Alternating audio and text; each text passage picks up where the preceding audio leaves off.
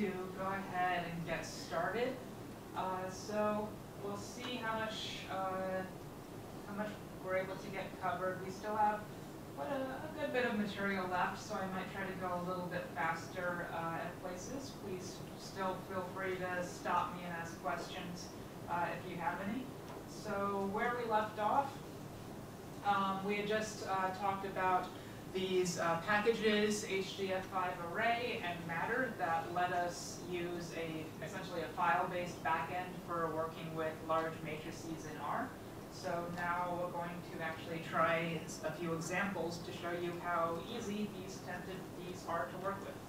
All right, so firstly, um, most file-based backends like this uh, have some additional limitations on what kind of data they can represent. Um, as you can imagine, while you're working with data within R, um, it's very flexible. You can essentially put the data in whatever format you want. We have our custom S4 class mass spectrum objects. Going into a file, you have a little bit more limitations than that. Um, most of them expect some sort of uh, matrix-like object that will all need to be one data type. So we can't really use our mass spectrum objects directly. Uh, in our case, the spectra that we simulated all have the same MZ values, so we can just turn our intensities into a matrix, where essentially every column of this matrix is a different mass spectrum, or at least the intensities for a mass spectrum. Um, and then we can use this matrix uh, as a seed to create our HDF5 array or, or, or our matter matrix. So here I'm just going to um, use uh, lapply to extract the intensities from every mass spectrum in this uh, spectra object. So remember spectra here, this is just a mass spectral uh, mass spectral list of length 500. So I'm going to extract the intensities from them using the intensity method. Remember, I have a method for extracting the intensities from a mass spectrum object. I would call it like so just grabs the intensities from the mass spectrum. So I'm going to apply uh, lapply intensity to all of the spectra. I'm going to use this uh, function simplify to array uh, to turn this list of intensities into a matrix. Um, I could also just uh, like uh, uh, C-bind them together or something like that. simplify to array is just a simple function that does this for me. It's actually what gets called internally if uh, sapply to do something instead of lapply. So that's all that that's doing, and now I have a matrix of intensities. Um, not quite large enough on its own to warrant the need to use this approach, uh, but it's fine for our examples in this case, so that I can actually run this stuff and still have time to get to our next set of material. Okay, so to create an HDF5 array, all I need to do is uh, load the HDF5 array library. Um, I need to get this matrix of intensities into an HDF5 file. So the function that I use to do that is this function write HDF5 array, which takes at least the arguments uh, some sort of matrix or matrix-like object, give it my matrix of intensities, a file path where I want to store the HDF5 file that they're going to be written to, and a name of the object within the HDF5 file. So an HDF5 uh, file can actually contain multiple objects, um, so you can have different kinds of uh, data sets within an HDF5 file. So I need to give it a name to identify this particular object within the HDF5 file, even though I'm just storing a single matrix. I could potentially store additional things inside this same file. So I'm going to load HDF5 array. I'll run write HDF5 array. Takes just a second, and you can see I now have a file uh, called intensities.h5 uh, here in my working directory. And if I just uh, type intensity underscore h5, which is the name of the variable that I assigned this to, uh, well, firstly, write HDF5 array, so this will return a new HDF5 array, or in this case, an HDF5 matrix object. So I assign this to a variable called intensity h5, and if I just print that, you can see that it doesn't want to access the entire matrix um, and print all of, all of that to you. It wants to give you a little bit of information though, so it just prints the uh, four corners of this matrix. So the first uh, five rows and the last five rows and the first three columns and the last uh, two columns that appears here. So we can access the columns of an HDF5 matrix like this, just like we would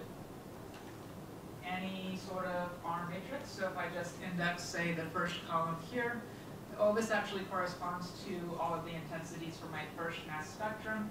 And you can see when I access it like this, it just pulls those intensities into memory from the HDF5 file, and it returns to them to me as an ordinary uh, numeric vector. So I could, uh, something just like, I'm just going to plot these real quick. Let's uh, verify that they still look something like mass spectrum. That looks reasonable. So I'm going to assume my data was written correctly. I seem to be able to access it, and it still looks like a mass spectrum. Uh, I'm not, not going to look at the other 499 of these. So with an HDF5 array object, if I just uh, select one row or one column, it will return those to me, that, it will return that to me as an R numeric vector. If I try to uh, subset some sort of smaller bit of it, uh,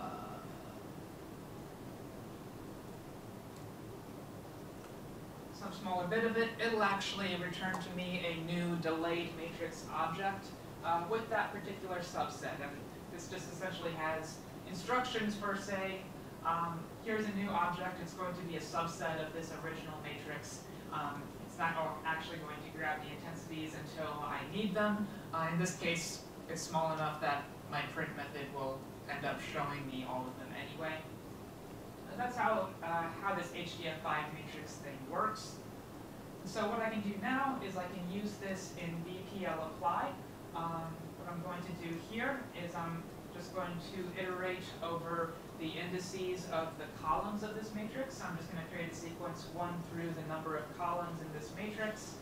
I'm going to give it a function where the arguments are firstly that index, and then I'm going to give it arguments for the uh, intensities and the MZ values. Remember I'm doing it this way because if I use, say, for example, a snow backend, um, the worker processes won't have access to this intensity H5 object that I just created um, unless I pass them as parameters to this function that I'm giving to BPL apply.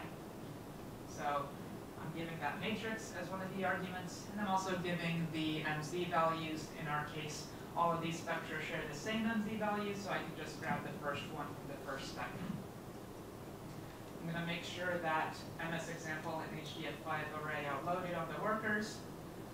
I'm going to extract the first column from my HDF5 array matrix. Um, and I'm going to create a new mass spectrum that my processing methods will know how to handle. And I'm going to smooth the noise, remove the baseline, and find the peaks and return that. Uh, run this. Now in our case, this matrix is small enough to easily fit into memory. There's no real reason in this particular case to write it out to a file and do it this way because the I.O. of reading it from disk will, or reading it from file will take quite a bit longer than just if I did this in memory. Uh, but if this were a much larger data set, then doing it like this would be much, much more memory efficient uh, than trying to do this on the entire matrix in memory. Uh, yes? Help me with the workflow here a little bit. So if my initial chunk of data is larger than I can actually get into memory, can you bring in chunks and then append all of these to an H5 array, or what, is, what does that kind of workflow look like? Right, so in this case, I had the data in memory initially, and I wrote that to an HDF5 array. Um, of course, in lots of cases, you won't want to do that, do that, and you'll instead want to, uh, say, create an HDF5 array and then read one spectrum or several, 10 or hundreds, however many spectra at a time, write those to that array, um, and do that so you're not loading in everything into memory at once. And you, yeah, yeah, you can do that. So that would be the way that um, I would do this if my data were very large. So at this point, I'm mostly showing how we would actually work with this kind of object once we actually have it. Um, there are, you can imagine several different paths where we might get to this point. Um, in our case, we just had it in memory and wrote it to a file. Um, some, potentially someone might have already saved it to an HDF5 file, in which case we can just access it using this, or we might uh, create an initial HDF5 file with some sort of um, matrix and fill in the columns with mass spectra by reading those mass spectra one at a time. And I believe MSnbase already has some sort of on-disk backend for doing stuff like this. I'm, I'm not sure if it uses HDF5 for this uh, or not. Uh, Cardinal, my package for mass spec imaging uses um, Matter as its backend since we're prim I'm primarily working. So we finished. Uh, at some point while I was talking, uh, I'm going to go ahead and plot the, the first uh, result, which should be a processed mass spectrum that has some peaks. Uh, those look uh, like some results that I might expect, expect. So that seemed to have worked. Again, in this case, it's small enough that the file-based I.O. was made it slower. But if this, this were very large, then we would much prefer uh, that than trying to load everything in, into memory and, um, and, all of the difficulties that that would entail. It would be much slower that way. So this is much this is much more memory efficient, which is what we want. Any questions on this HDF5 array thing? Uh, this is from so this is from the core some of the core bioconductor people, so it should be pretty well documented and well supported in bioconductor now. So now I'm just going to talk a little bit uh, about matter. So matter follows kind of some of the same basic principles. Here I'm just going to uh, main difference is it doesn't use this HDF5 it doesn't use this HDF5 file format, it just uses flat binary files, and internally uh, Matter creates objects that have some sort of metadata information on where the different rows and columns are stored within those files. And if you're an advanced user, you can specify exactly um, where those are, where you, where you expect your spectra or your rows and columns to be coming from. In this case, I'm just going to load Matter and just use as.matter to coerce this to a matter matrix, which will automatically write it to some temporary file. And that's pretty quick.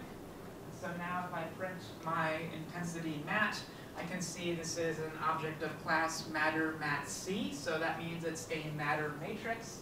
Um, the C tells us it's a column major matter matrix, so accessing the columns should be very fast, accessing the rows would be a little bit slower. Um, our columns are the mass spectra, so that's what we want. Uh, we want to be able to access the columns really quickly, so that's perfect for us.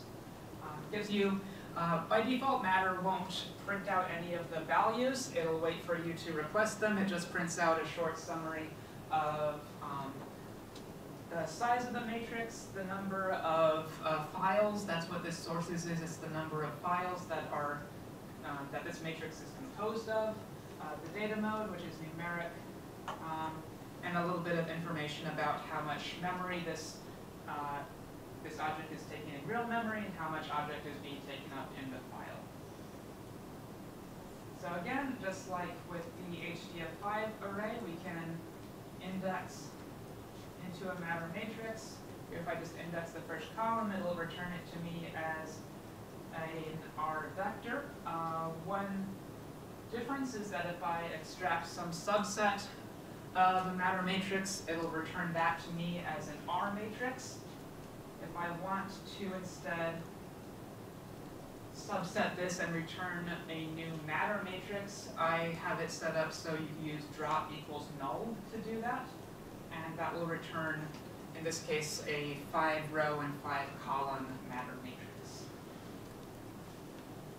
So the way that I would use this in uh, BPL apply now is basically the same way that I did before. So I'm just going to iterate over its columns or an index into its columns and passing this uh, matter matrix uh, to BPL apply as well as the MZ values creating a new mass spectrum object from the corresponding columns, doing some processing and assigning this to some result I believe at some point I had registered a multi-core backend. If I still have that registered right now. Actually, I'm serial plan right now. Let me redo that actually in parallel. Just to show that it works.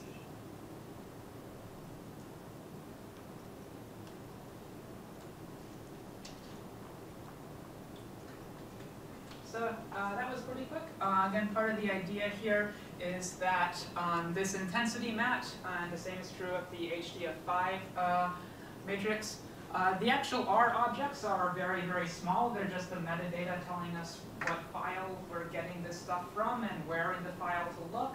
So passing this to the additional R sessions should be very quick and reduce the overhead of doing this in parallel. Um, Otherwise, it's pretty simple. Uh, any questions on this part? All right, so something else I want to think about is what if we can't actually represent our spectra as an ordinary matrix? Um, what if our, our spectra are of different lengths or have different MZ values? That seems like a very realistic situation that we might have. Um, so if we have spectra that are of different lengths with different MZ values, we can't just easily turn that into a matrix.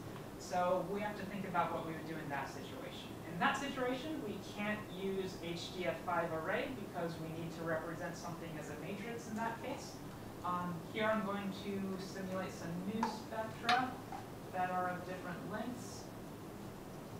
Um, I'm only uh, simulating 100 this time where you can see the lengths of these mass spectra. First one has 4,177 data points, next one has 3,250 data points.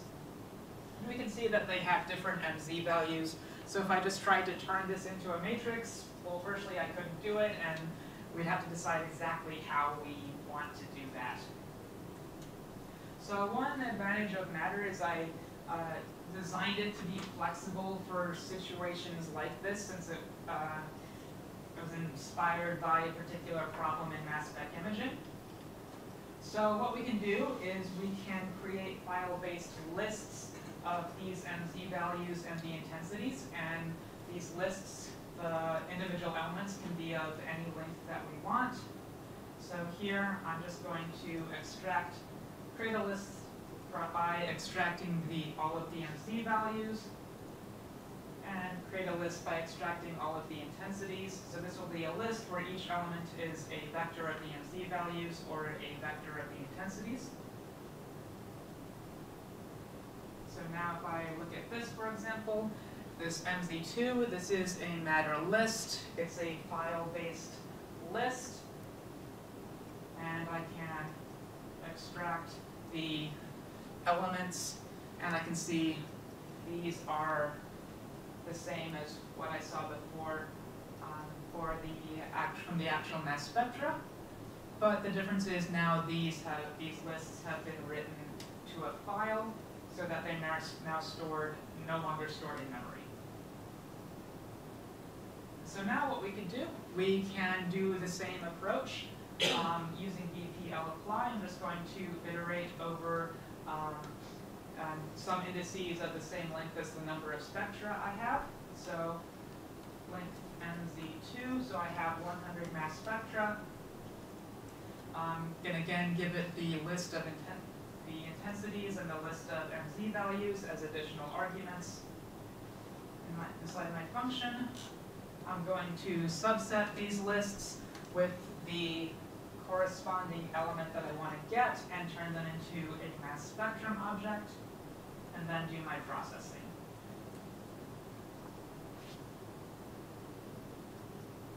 So now I have the results.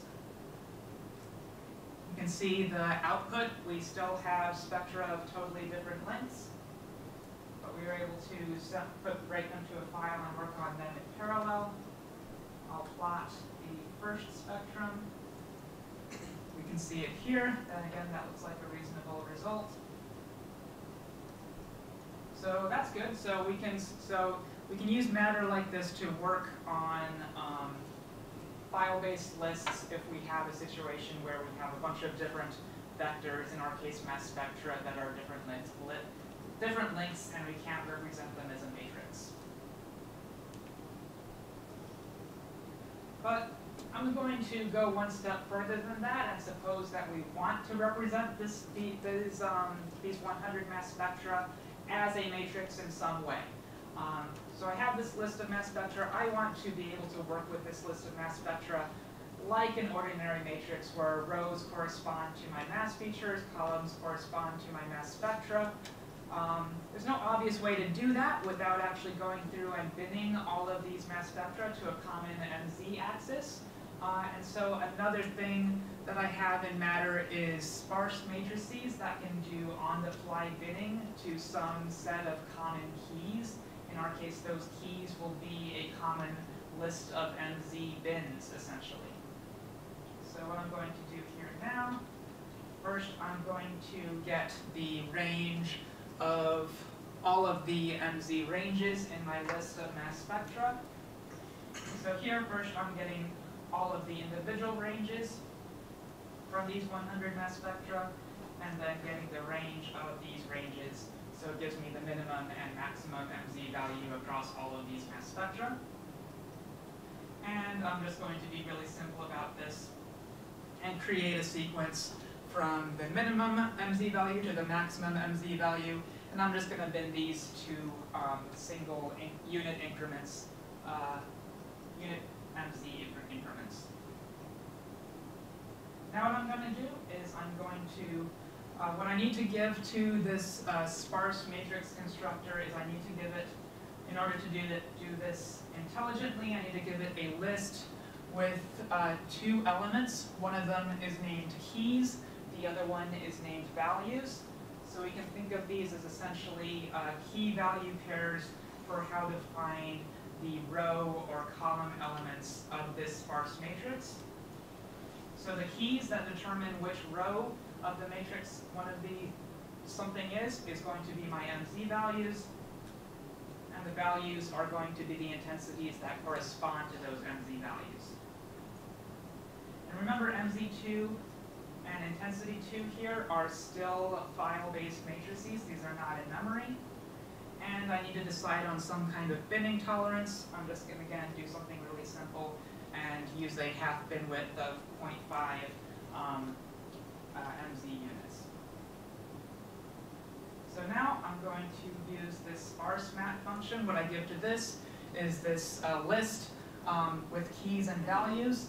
I'm going to give it a canonical uh, list of keys that are going to be my row keys for the entire matrix. This is the sequence I created in um, unit MZ resolution from the minimum to the maximum uh, MZ values. My tolerance here, so this is going to be my half bin width for the binning this sparse matrix is going to do on the fly. And the combiner, by default, this sparse matrix expects to be a, a normal sparse matrix and just tries to um, assume each key is just a row and uh, there's no binning or anything fancy like that. Um, if I actually want binning to be done, I need to specify a combiner function that specifies um, if I have multiple values that end up in the same bin, how am I going to combine them? I'm going to say I'm going to take the sum. I could also take the mean or the maximum or something like that. And I'm going to put these together into a sparse mat that I call intensities 2. And so now this is a 3,766 row matrix with the same uh, 100 number of columns. Um, and each column here will refer to a separate mass spectrum. And we know this originally started with mass, mass spectra that were totally of, of totally different lengths, totally incompatible mass ranges. Um, but this sparse matrix will essentially bin these all of these key values of MZ values and intensities to a common um, to this common list of MZ values that I gave as the keys. So I just look at the keys. These are essentially the row MZ values that will be that everything will be binned to, and I'll just plot the first column here to see that it's something reasonable, and that looks like a reasonable mass spectrum. You can decide later on you want a different bin width or something like that, but this is good enough to at least show that something reasonable is happening. Plot the second mass spectrum and so forth. So this is one way um, that I find useful, at least in, in Cardinal, uh, when working with mass spec imaging and IMZML, um, for working with a bunch of different mass spectra of different lengths, different MZ axes, and working with them as a kind of sparse matrix. Alright, any questions on any of what we covered just now, HDF5 array, matter, any of that? Alright, if there's no questions, um, you can always ask me later on, but in the interest of time, I will keep going to our next topic. So the next thing we're going to be talking about is performance profiling and debugging in R. So I'm gonna, go kind of quickly through this next couple of slides since um, the practical use is kind of minimal. But let's uh, think of for a moment about how, how R treats objects that are being modified. So suppose I just create a very simple um, vector, um, I'm going to call it x, that's uh, random uniform numbers. Uh, I'm going to randomly generate, generate 10 of them, and I'm going to say that I want to replace the fifth element of x with a new value 10. Um, so let's just think about that for a moment. So at this point, I'm going to assign something into x. The question now is what happens to x? How does this update, how does this replacement function actually work? So there are two basic possibilities. One is that x is modified in place. Um, no memory duplication happens. There's no extra copies of x or anything ghostly like that. The other possibility is that R creates a copy of x and modifies that copy. So what do you think happens here? Any ideas? Second one? Any takers for the first one? Everyone is very pessimistic. So everyone thinks it's the second one. The, well, the answer is a little bit complicated. The answer is it depends. Um, and in this particular case, it is actually the first one. In this particular case, x is modified in place. But if I had some additional things between uh, those first two lines of code and I did some other things with x, then very likely the then very likely the second thing would thing would happen. And so we'll just talk very briefly about how that works. So I'm going to load a package called pryr. This just looks at it helps us look a little bit at some of the R internals and what's going on. So I'm going to that's not supposed to be one. Uh, it doesn't matter in this case. So I'm going to create a new variable for x. Again, I'm going to call these uh, functions from pryr address and refs. What address does is it just tells us the location in memory where x is stored. Refs tells us um, is r's approximation of the number of names that are pointing to x, the number of variable names that are pointing to x. So the number of references to x um, in R right now. It's a little bit more complicated than that, but that's close enough. So right now, I assign something to x. It's at this location in memory. Um, there's one variable name that refers to x. I'm going to assign x to y. So let's look at y. Um, y is at this address in memory. Right now, it's the exact same address as x. So this assignment changed uh, essentially nothing. All that changed is that x and y are both pointing to the same location in memory. If I look at the refs of y, I will get 2 now. Because x and y are actually pointing to the same object, which now has two names uh, corresponding to it. So let's look at what happens when we try to assign something into x after we do that. So now I'm going to create a new x again, assign x to y. I'm going to look at the addresses. x and y are in the same locations in memory. I assign something into x now. I look at the locations of x and y. Um, x now has a new location in memory, um, and that is because at this point x does, we do get a copy created of x, and the modification happens on that copy. Uh, y is still in the same place as before, so y remains unmodified.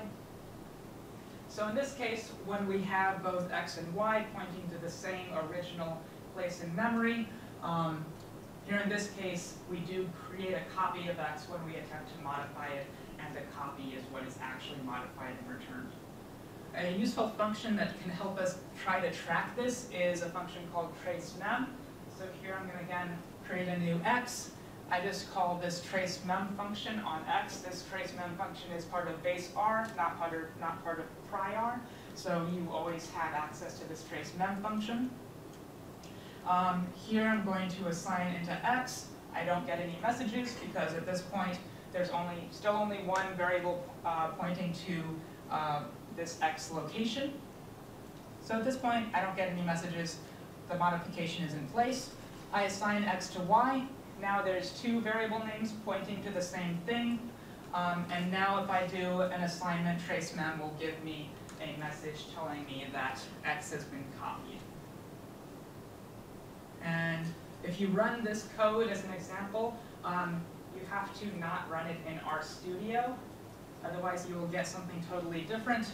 Um, running things in RStudio, I suppose, is actually less efficient in certain situations because the refs will always be greater than one because for RStudio's little environment browser here to, uh, to get this part to work, um, it creates additional references to those R objects. So I guess that's one point, one little point against RStudio there. So yeah, you would have to run this either on a command line R or using another R GUI that doesn't do that. Okay, so figuring out um, exactly when an object gets duplicated like this gets a little bit more complicated by the fact that using pretty much any function on x will also increment this refs count. So here, for example, I'm going to create a new x again. See, it's at this location in memory, refs is 1. Now I'm just going to call a very simple function, identity x. This function just takes x as a parameter and returns x back to you. There's no reason that this should increase the refs count, uh, but it turns out that it does. And in this case, it does so um, I mistyped this. This is actually supposed to be x and. Um, ignore that this is y and y. This should be x and x. Um, so what actually happens is if I just do identity x, the refs count does increase. And it does something a little bit weird in the most recent versions of R. It actually goes to 7. Um, you'd think it would go to 2 or something. It actually goes to 7. And what's actually happening here is this refs, it's not an actual precise reference counting. Um, so what's actually happening here is once I refer to x inside of a function, the refs just increase to the maximum possible value to, to say, the next time you do something with this, uh, absolutely make a copy. Um, it's essentially saying this, treat this as immutable from now on. And it just so happens that the maximum allowed number for this reference count is 7 which is a recent change in the latest R version that I learned from our keynote speaker for today, Gabriel, just last night when I asked him about this. Um, so that's what's happening here, and also why we get this weird increment all the way up to 7. Uh, so, so doing, applying pretty much any function to a variable will increase the refs count and trigger the next time you try to modify it to create a copy. Um, how to avoid that? Um, primitive functions generally won't do this. Primitive functions, again, remember these are in, these essentially go directly into C code. Only core R members can create primitive functions. They know exactly what these primitive functions are doing, so they can do special tricks um, that so that they know they don't need to increase the ref count. Um, so if I so that's why uh, certain primitive functions, like in this case, the replacement operator for a numeric vector, these can operate on, on a variable without increasing the refs count. So let's consider a um, simple use case where we just want to modify each column of a data frame in a for loop. Uh, this part, this part I am going to run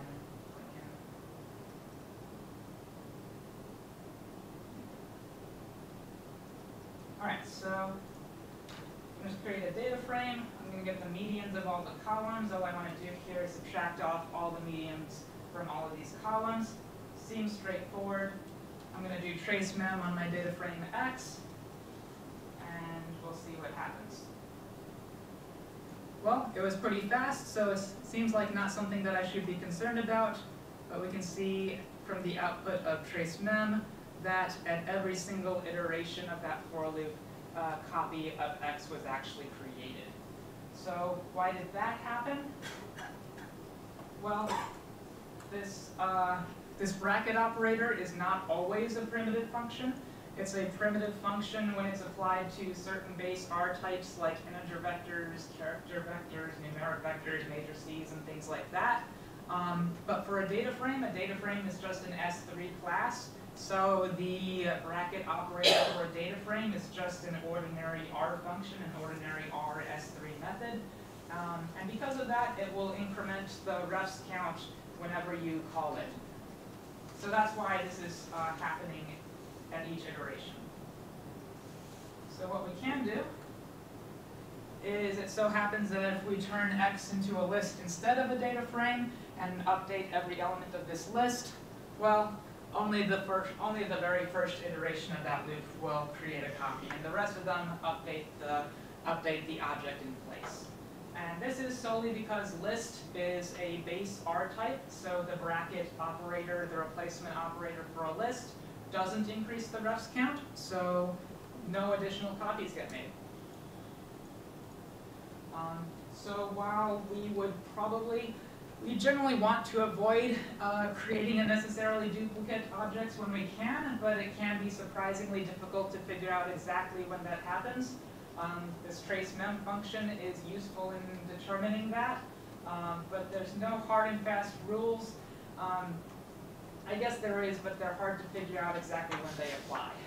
Um, so the thing, so the reason that applying any function to a variable increases its refs count typically is because, um, as you as we talked about the other day, functions in R create closures. They capture their environment. So there's no way of actually knowing if there's still some other variable name pointing to that object somewhere out there in use. Um, so R assumes the worst case scenario and assumes that there is, and as soon, so as soon as we evaluate uh, a parameter in a function, the refs count for that variable, or at least the object in memory that it's pointing to, will be increased. So the exception to this is any functions that do not evaluate their arguments. Um, that's a relatively short list, but if you're using some sort of non-standard evaluation, um, so for example, the substitute function, if you don't know what I'm talking about, ignore this because most of you probably shouldn't use this. Um, but there are a small list of functions that don't actually evaluate their arguments, um, and these will also not increment the count. So that's probably the extent that I'm going to talk about that, um, mostly because there's, it's hard to figure out when this will happen, so you should use something like mem to try to figure that out. So that's all I'm going to say on that. Any quick final questions? Yes. Does that have significant speed implications if you're have a huge data frame? So in that case, you want to convert to a matrix? Yeah, so if, if you have a very large object, this can have very significant consequences. So yeah, so updating every column of a data frame, if it has a lot of columns, is going to be inefficient. Um, you would want to, uh, I think the double bracket operator for a data frame might just be calling the list operator since uh, data frames inherit from lists, but I'm not sure, so that might be one way around that. Um, but yeah, so working with a base R type or um, something like a matrix, uh, which is basically a base R type just with dimensions, yeah, would get around that. Um, yeah, so that's it's difficult to figure out how and when this happens, and it's something that you should be thinking about if you're working with a very large object.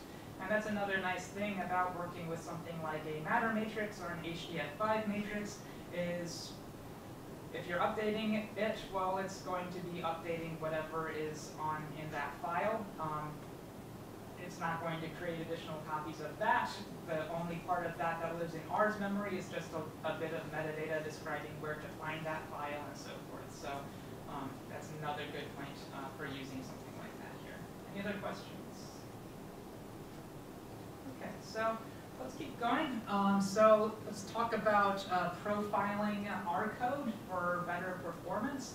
And I'm going to be talking here about kind of micro optimization. So we talked about sort of macro optimization when we were talking about parallel uh, parallelism.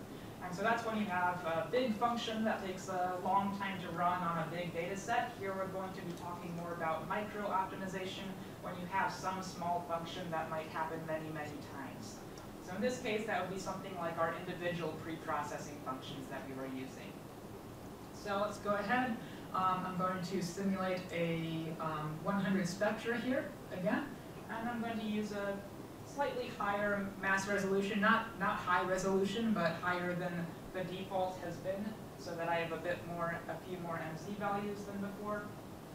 Um, and I'm just going to plot this, so this is the mass spectrum. And now so, suppose we want to find the local maxima of a vector, which you can imagine we could use for peak detection. So right now, our goal is to create a function that finds the local maxima of a vector, and that's something that we might want to do tens, uh, hundreds of hundreds of times, or thousands of times, or even millions of times, if we're processing hundreds of thousands of spectra. So we want that little helper function that all it does is calculate the local maxima. We want that thing to be really, really fast. So I'm going to start off with this initial version that one might conceivably write as the first version of this function. Who wants to volunteer to kind of walk me through what this function is doing? You already know what the output is supposed to be, the indices of peaks or local of the indices of local maxima. Does anyone want to take a stab at taking us through this line by line? Any takers?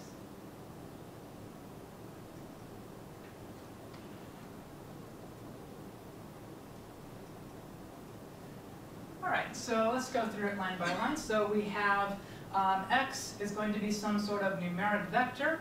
Um, we're going to give this a half window. So what this local maxima function is going to do, it's going to do something really simple. It's just going to use a sliding window across the entire vector and see um, if the center data point that it's looking at in the center of that window, are there any other data points in that window that are larger than that data point? If there are, it's not a maxima. If it's the highest uh, point in that particular window, we're going to say that it's a local maxima. Um, really simple, uh, so it's so but a reasonable thing to do. So we have a half window. We're going to set up where we want to start looking in our vector. So we're going to create a beginning index and an ending index. So the first point that we're going to look at is going to be uh, 1 plus that half window. Uh, the last data point in the vector we're going to look at is going to be the length of the vector minus that half window. And we're going to create this out parameter that we're going to initialize as just a length zero integer. And well, if either of this beginning or ending is not, uh, if the beginning is less than one or the end is greater than the length, so essentially this will happen if our, if our numeric vector is smaller than our, than our window allows, we're just going to return an empty integer. So now we're going to loop through the first index there down to the last index um, in terms of that beginning and end.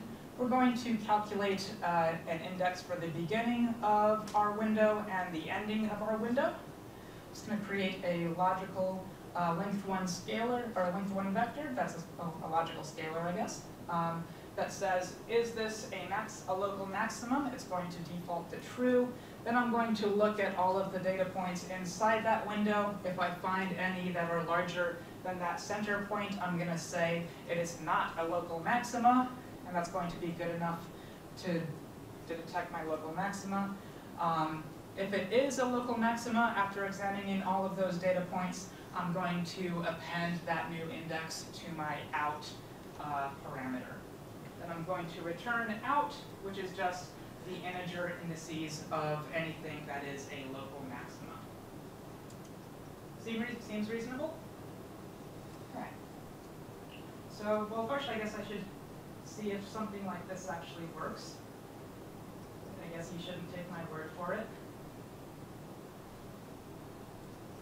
So I'll create that function. Um, I'll come up with something really simple.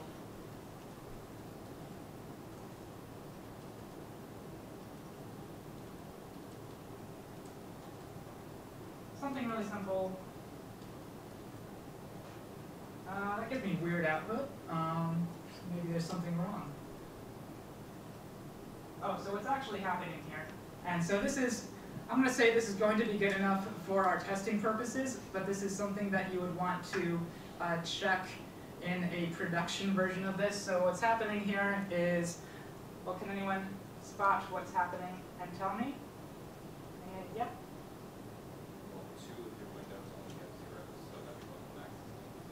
Right, so if I have a window and everything in that window is the same value, well, nothing in that window is going to be larger than that center data point, and so it's going to erroneous, erroneously say that that's a local maximum. So I would want this logic to be a little bit more complicated um, to check for things like that. Uh, I simplified this from a version that I have in Cardinal that actually does do that checking. I took it out just so that this would fit on a slide and be easier to read.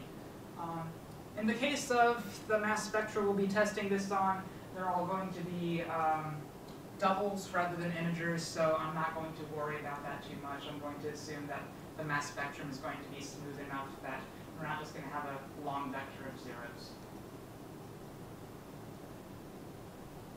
All right, and at least I looked at the my find peaks function, which returned reasonable results, so I'm not going to worry about it right now.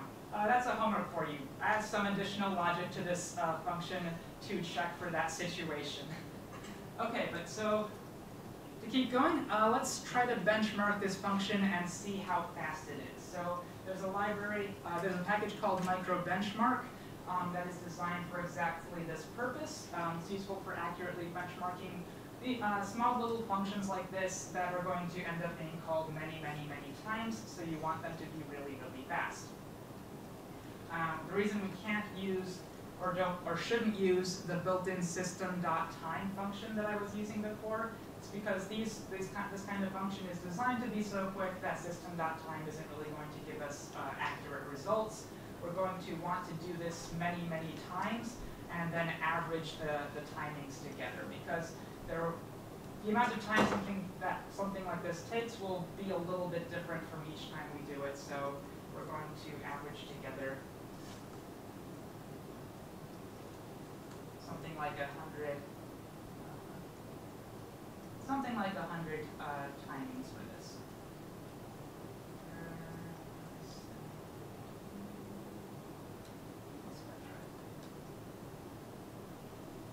Okay. All right, so here I'm just calling microbenchmark uh, locmax 1 on the intensities of uh, the first mass spectrum here.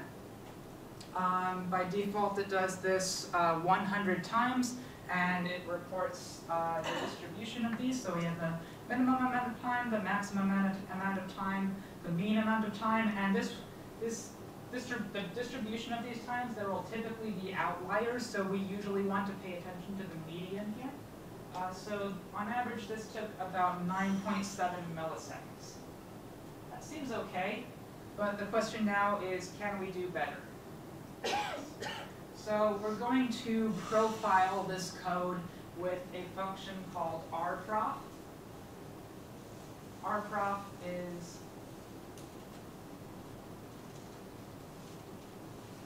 rprof comes with base R, it's just part of the utils package that comes with base R.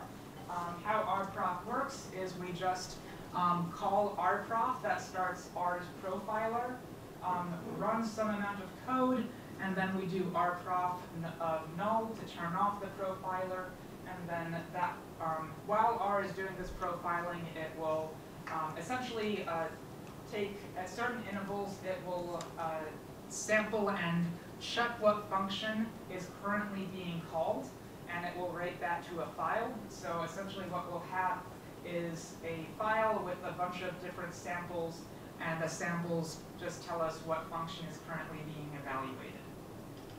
So to um, get a decent profiling uh, from this, we need to run this on something that takes a decent amount of time because we're re relying on this sampling thing. Um, we can control the sampling interval with interval here. Um, that's in seconds. And again, I want this to take a little bit longer than than a hundred, than what was it? A little bit longer than nine point seven milliseconds because I want enough data. So I'm just going to sapply and do locmax to all of my one hundred spectra here.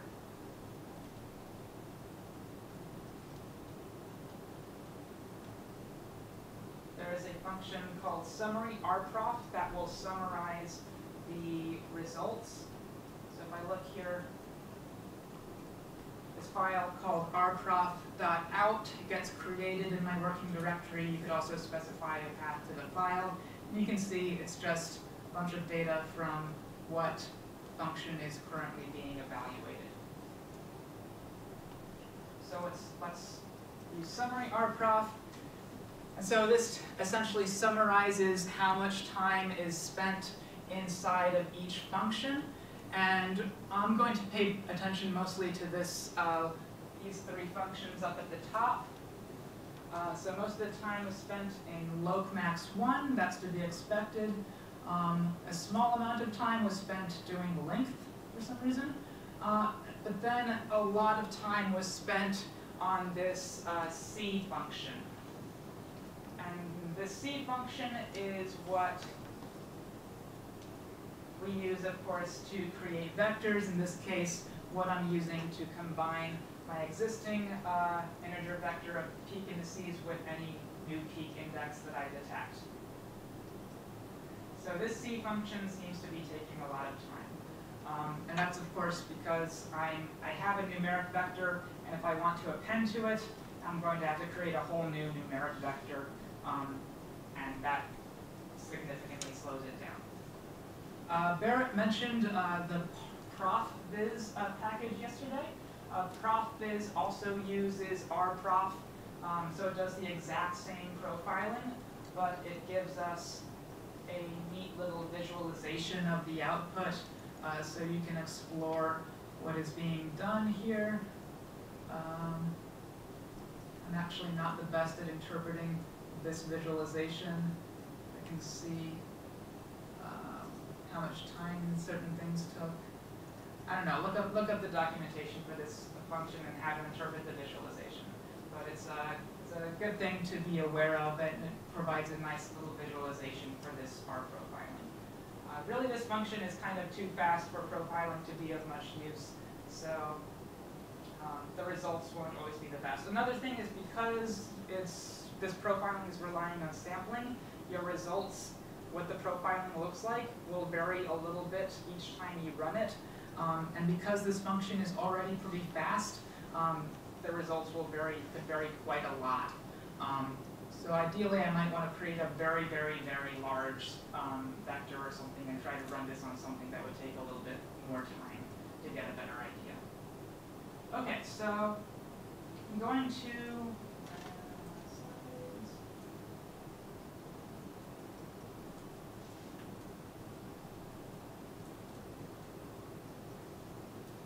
Okay, so let's uh, do some, um, let's change this function to try to account for what we just learned. So let's not uh, append a, numer a new number to a, to a numer or an integer vector in this case.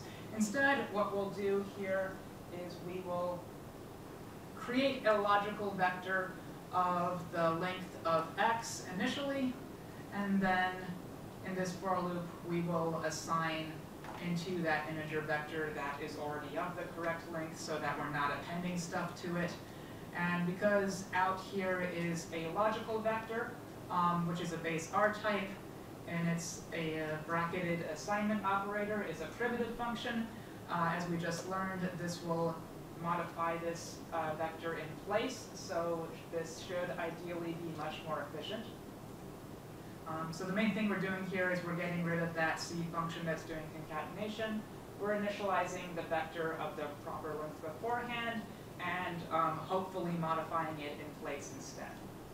Uh, and then we're just going to call which on this to get the indices of the local maxima. So this is version 2. Uh, I wrote one additional version, this is version three. So um, my thought was, well, in R, we typically want to try to vectorize things. Usually the main reason that things are slow in R is because we're doing something in a for loop or something rather than taking advantage of um, something that is already vectorized. Um, so here I'm going to try to write this in a little bit maybe more in the idiomatic R way. So instead of doing a for loop like this, what I'm going to do is use vapply. So vapply is just a slightly more efficient version of sapply or lapply, where I have to specify the return type. Um, that allows vapply to be a little bit more efficient because it can pre-initialize the result just like I did in version 2 here. Um, so I'm just going to do vapply over these indices, um, again, and get the window that I'm looking at. And I'm going to vectorize this comparison as well. So I'm going to index the portion of x that is my window, see if any of those um, are greater than my center point. That's going to give me a logical vector, and I'm going to use any, which is, um, again, a vectorized function that will tell me if any of those are true. If any of those are true, I'll say false, this is not a peak, otherwise true, it is a peak. Vapply will return to me a logical vector, and now I need to pad the ends with the um, a few additional um, falses to correspond to the half windows that were cut off. And then I'll just return uh, the indices using which. Okay, so we have two versions. Um, let's make sure that they output the same things. So that's usually a good thing to do when you're trying to optimize a function, make sure that you're actually doing the same thing. Uh, in our case, we actually already know we're doing something slightly wrong, but let's at least make sure we're doing the same wrong thing both times. So we're just going to use all equal to make sure that the output of these all match up. Um, they do, so that means we're good to go, and we can at least compare these functions knowing we're doing the same thing. So now, my question to you is, which of these three functions will be the fastest? Who votes for one?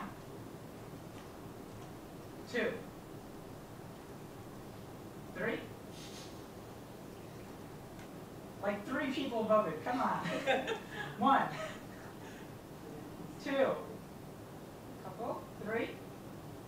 All right, so three seems to be the consensus on what we think. Um, let's see, I'll go ahead and do this interactively. Let's create look max two. Let's create locmax three. Verify these are all doing the same thing. And now might throw benchmark and see that most people didn't look ahead in my slides because a lot of people got it wrong. So uh, the second version here is actually the fastest, and the third version where I use more idiomatic R like vapply and a vectorized function like any is actually the slowest by far in this case. So the popular perception of how things work in R are sometimes completely wrong. Um, for loops are, as it turns out, not inherently slower than functions like lapply and vapply and so forth. So here, version 2, we're able to update that local maximum in place. We're able to exit the for, that inner for loop as soon as we know something's not a peak, and I suppose that makes it a bit faster than vapply, even though that vectorized stuff is vectorized and efficient. We're still looking at more data points than version 2 is. Um, and the for loop is actually pretty efficient. So here, our best version of this function was loc_max2. Yes? Kind of because you're not copying objects in the for loop? Uh, we, It, it would be slower if you were copying right, so that would be the main difference from the initial version. So in version 1, whenever we uh, append the new peak to this list, to this integer vector of peaks, that will create a copy. Um, so that's definitely what's slowing down version 1 the most. Um, version 2, we're avoiding that, so we shouldn't be making any, any additional copies. Uh, version 3, at, at least, we're not actually any, there, we shouldn't be making any copies ourselves. Um, vapply will be getting, shouldn't, shouldn't be either, so I'm not entirely sure quite what's making it so much slower than the other versions. I would think it should at least be faster than version one, so I'm not entirely sure why. I guess the apply has some amount of overhead to it. Um, that's making it a little bit slower in this case. Um, I could conceivably try this on much uh, larger mass spectra with much higher resolution and see if that changes the results. Um, but in this case, version two seems to be the fastest. Any questions to this point? Yeah, so definitely do not believe um, what you think to be, what you believe is true uh, about your code. Do not believe what people say on the internet. Actually time things to make sure what you think should be the fastest is actually the fastest. Um, there, are that, there are actually numerous times that I have uh, tried to optimize some small function like this, thinking that I was improving it, but then when I actually went to benchmark it, the new version was actually slower. Um, and so I just used the version, the initial version that I thought should be, I could be, I should be able to improve it, but was already fast, uh, faster than anything I could try to do to improve it. So that is the lesson here. Okay, so what about, um, at this point, we've probably kind of exhausted the amount of optimization that we can do in R itself. Um, so once you get to that point, uh, if you're if you still want some additional speed, uh, that's kind of the point that you might want to start thinking about um, calling something in C or C++ rather than just R code. So fortunately, it's pretty easy to call C++ code or C code from R. Um, the RCPP package makes it really easy. Um, so here we're going to look at how we can uh, incorporate C++ code to make this really, really fast. So here I'm just going to load the RCPP library, show you a very basic example from RCPP. So here, um, RCPP actually allows me to just compile a, a function from the R command line, from the R console here. Load RCPP, create a very simple function. So I have an R version called add1. All it does is it takes something and adds one to it. Um, create a C function that does uh, the exact same thing. And compile it with a CPP function from the RCPP package. Uh, you can see if I look at these, well, add1 is just an ordinary R function. Add1C is a function that uh, calls this uh, dot call function, which has this uh, pointer thing to it, and then this thing gets uh, the argument x. So let's make sure these are doing the same thing. They're both adding 1 to whatever I give to it. That seems good. Is that one Um, in this case, it is not because I have this set up to just be a double. Um,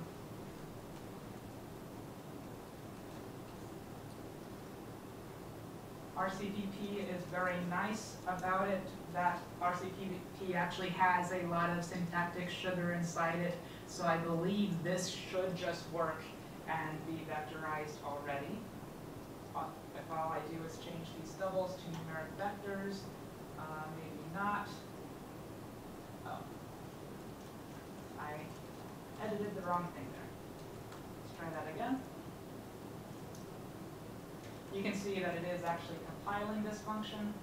Uh, take a look at these. So add one to two, add one to two again. Let's try adding one to vector one through ten. This might actually fail because one through integer. Oh, looks like it automatically forces it to a numeric vector for me as well. That's really nice. Uh, yeah, so you can see all I had to change there was just change double to numeric vector and RCPP makes it really nice. Uh, that just works. Spend some time in that. Yeah, it's pro- should be nicer than Fortran. okay, so now let's create an RCPP version of our function. Uh, you can see this looks a lot like what we had before, so it's not that difficult to, to understand what's going on here. So RCPP gives us these uh, C++ classes that are basically wrappers of these R objects. So I can just, uh, I just have a numeric vector here, x, an integer for a half window, and this is a C++ function that returns a logical vector. I'm going to create I'm gonna initialize a new logical vector of the same length as x. If you're familiar with C++ programming, you can see x is an object here. I'm calling the length method on it to get the length of x. And then I'm going to loop through um, 1 equals the half window um, through i is less than uh, the length of x minus the half window. Um, I'm gonna set is max is locmax equal to true. I'm going to do my little inner loop here through the window. Uh, set it to false if I find anything bigger than xi. Um, and then I'm going to return my logical vector is locmax. So I happen to have this this folder as this R, RC, or this C++ file here. I need to change my working directory to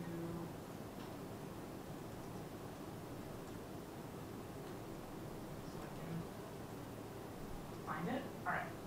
So now I can uh, source and compile a C++ file using RCPP, just using source CPP. Um, say verbose equals interactive, I'm in an interactive R session, so this will be true. Uh, so I can get that compiler uh, output so I can see what's going on. Compiled pretty quickly. It's a pretty simple function. And so one thing uh, that I didn't do, so this is locmax, this is returning a logical vector. So I'm just going to write a little uh, wrapper function. Oops. Uh, well, firstly, source source CPP here, it created a an R function that um, calls this C++ code. It created this R function for me. Um, I'm going to create another little wrapper function around this that calls which on the output of this, so I'm returning the um, uh, the vector indices just like my other uh, just like my other locmax functions are doing. And now I'm I have to make that. Now I'm going to verify this also is doing the same thing as my previous functions. And let's benchmark uh, this now. I guess I should have asked you which one you think will be faster first again, but I think in this case it will be pretty obvious that uh, the C++ code um, outperforms the interpreted code any day. So that was really easy. Um, so in, in our case, uh, act, getting a C++ uh, code into R from RCPP is simple as just doing this source uh, CPP. Uh, using RCPP in a package is also relatively uh, simple. So in the description file, you just need to add uh, that it's linking to RCPP, that it's importing RCPP, and then in the namespace or in your Roxygen code comments, um, you have this use dynlib um, that is saying that your your package is calling some dynamic library um, of compiled code, and you also need to import the RCPP package. Against the wall over. Um, so RCPP also comes with its own version of package uh, skeleton that we used earlier on to kind of create a skeleton R package directory that we can then edit. So R package skeleton here sets up most of the um, stuff that you need to create a package with RCPP. So I'm going to take a look at it here. So I just ran this rcpp.package.skeleton and it created this uh, new package folder for me. You can see it has a, um, it starts, it gives you a very simple hello world example with an example RCPP function. Uh, it also creates this RCPP exports thing, so this is something that you don't edit by hand, kind of like Roxygen, uh, kind of like Roxygen 2. There's some stuff that you don't edit by hand um, because RCPP will generate the kind of dirty uh, code that you don't need to worry about because you're using RCPP. Uh, you can see this is linking to RCPP, uh, namespace, it's importing from RCPP, and you're using this dynamic library. So pretty straightforward, and you could just um, use this as a template and edit it and create your functions as however you like. Um, so once you are doing that, so you do need to kind of, again, kind of like Rox- Roxygen two, you would need to use this RCPP function called compile attributes. Um, this doesn't actually compile your code, it just generates uh, the code so that R is able to talk to your C++ function and compile that correctly when you actually do compile your code, which will happen whenever you build and install the package. Uh, so using C or C++ in an R package, RCPP is probably the easiest way to include C++ in your R package. It has a lot of community support now, it's very stable now. Um, you can check out the RCPP website for a lot more information. They have a whole book on writing RCPP, so you can see all of those um, numeric vector, integer vector, logical vector, all those classes that are available to you, as well as lots of the syntactic sugar that RCPP supplies for you. So we saw earlier on, uh, the question was, was this automatically vectorized? And RCPP uh, has um, methods so that it actually is, so you can write something that actually looks a lot like our code, and RCPP takes care of uh, a lot of the nitty-gritty things for you. Both of your examples, you were doing the same thing, the same number of times to each element in the vector. Yep. If you were dealing with a convergence criteria, it would be different for each element. Is there anything that simplifies that in RCPP? Um, I don't. um, So, are you asking if there's like anything that? if I'm understanding you correctly, I don't think that there's anything that that would automatically do anything like that in RCPP. So it still kind of depends on your own, you still have to write some, some amount of code and your own logic. Um, it will, there are some things that will automatically be vectorized and things like that, so you can do vectorized addition, multiplication and stuff of uh, numeric vectors and stuff. Um, the rest is just uh, ordinary C++ code, so however you would write an ordinary C++ function is how you would do it. Uh, so that's RCPP. You can also use the native dot call framework, which is what RCPP um, generates uh, templates for under the hood. Um, the dot call framework uh, is kind of the, the native way that you get with base R for calling C or C++ code from R. It requires some knowledge of the R internals because you're essentially working with the internal um, R functions for working with R objects. Um, you want to do this looking at the R source code, and in particular the header file rinternals.h is very helpful. Um, and there's a lot more information on this in the Writing R Extensions Manual by R Core. Um, and I actually have branches of MS Example that use uh, both RCPP uh, as well as the native call framework if you want to see what the differences would be. So, I'm going to switch over here, show you.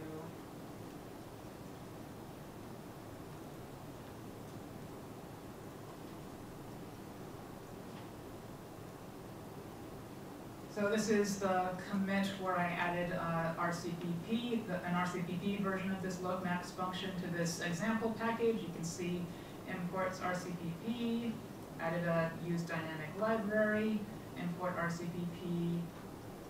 Um, There's a new uh, file added, and this is one of the ones that is generated automatically by RCPP when you use that compile attributes function.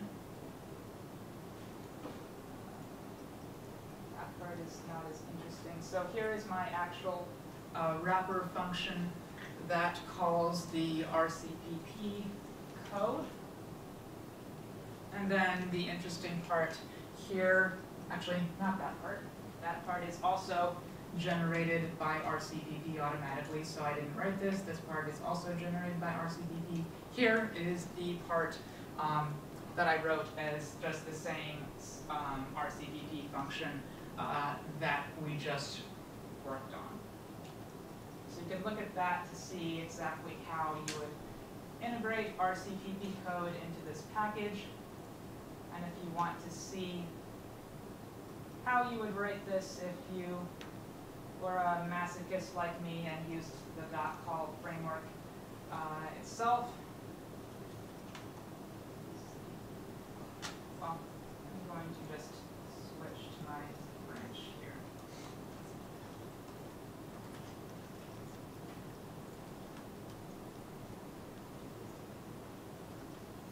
So here in my source directory, you can see I have a few files.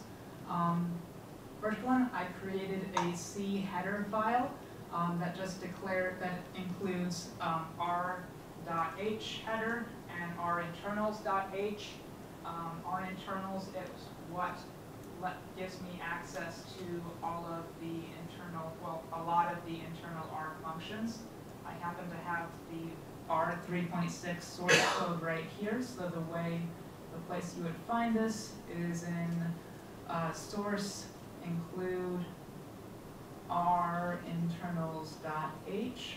So this is from the R source code.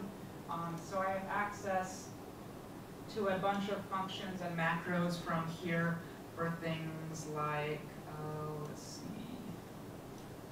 Um, something interesting.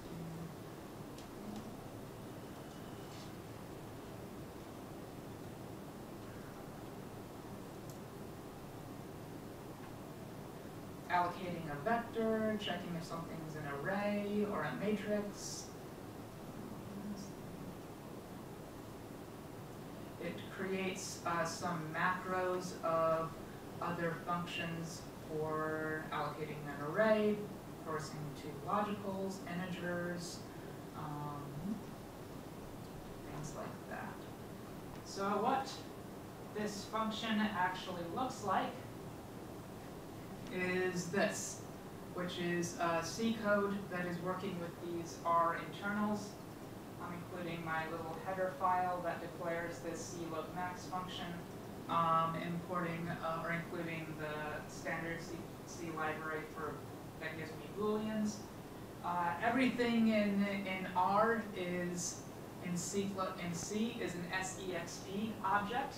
Um, you have to work with these in a particular way. Um, you can see if I want to create a new object, so here I'm in, um, allocating a logical vector. Um, because of R's gar garbage collector, I have to protect that from the garbage collector. Um, I have to get a C pointer to the numeric, to the um, actual data of this. X here is going to be my numeric vector. In C, is just an SEXP. I happen, I have to know it's a numeric vector and use real to get a pointer to the actual data. Um, and then before returning this, I have to unprotect uh, what I protected from the garbage collection. So I'm not going to go more into that right now, but you can look at it if you if you want. Um, any general questions on any of that? C, RCPP, C++, yes. Are there any real advantages of using the C API as opposed to the RCPP? Um, one less dependency in your R package, which, in my opinion, is not insignificant. Um, personally, I, I think that you should try to keep the number of things that, uh, the number of other packages you depend on to a minimum.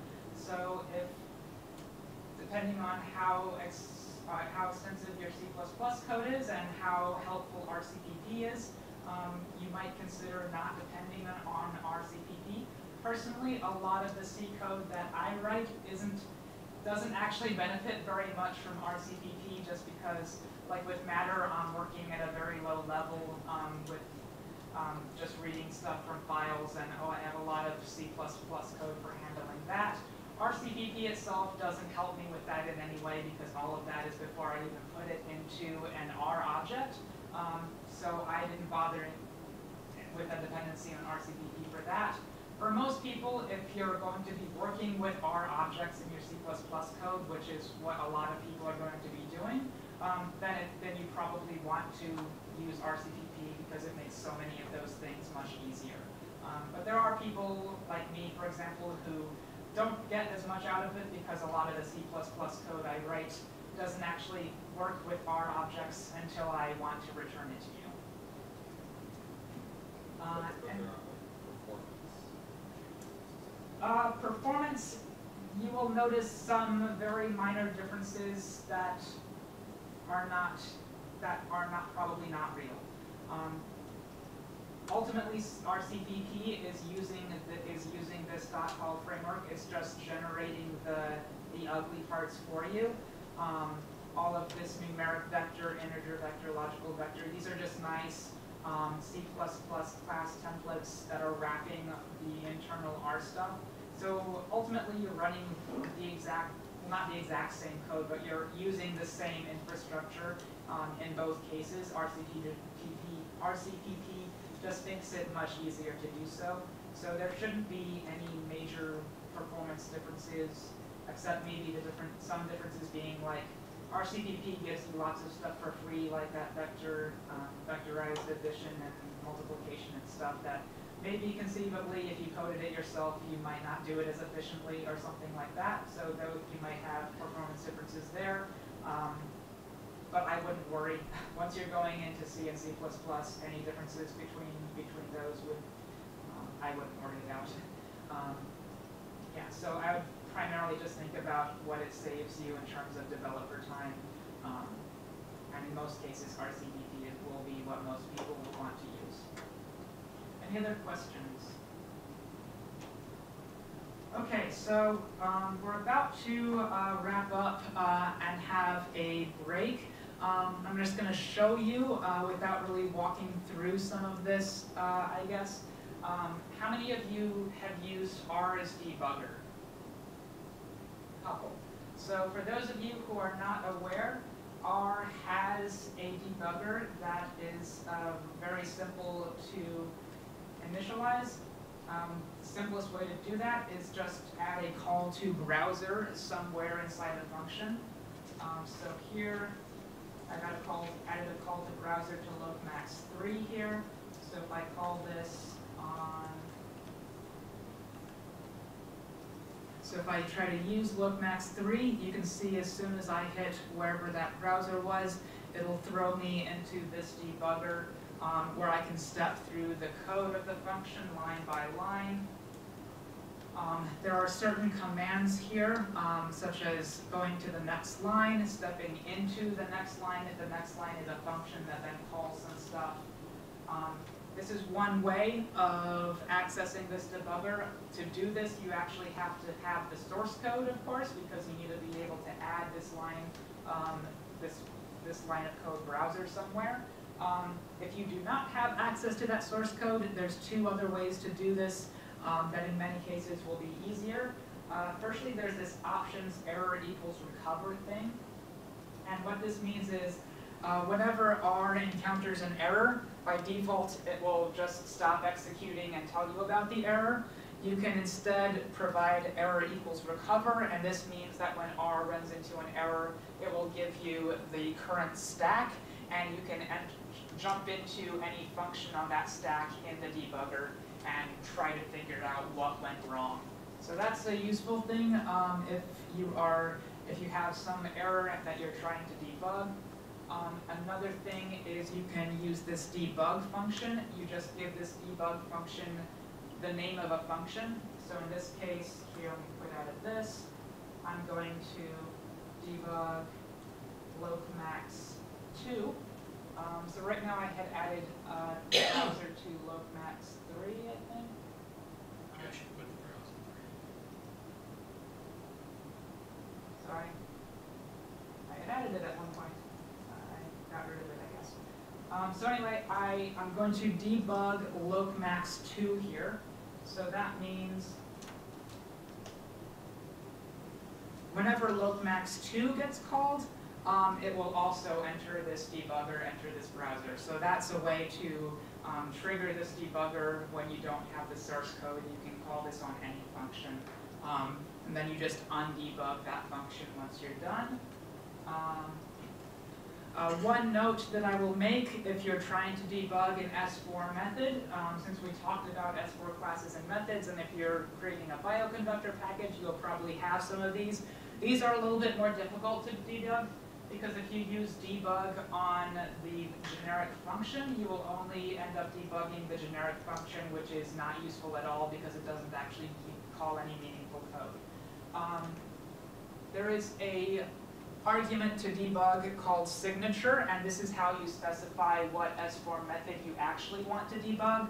So here I'm giving, I'm gonna- I want to debug plot. I don't want to debug the plot generic function, so I'm going to give a signature of mass spectrum missing. So that means I'm going to be de- debugging uh, my plot method for mass spectrum and missing.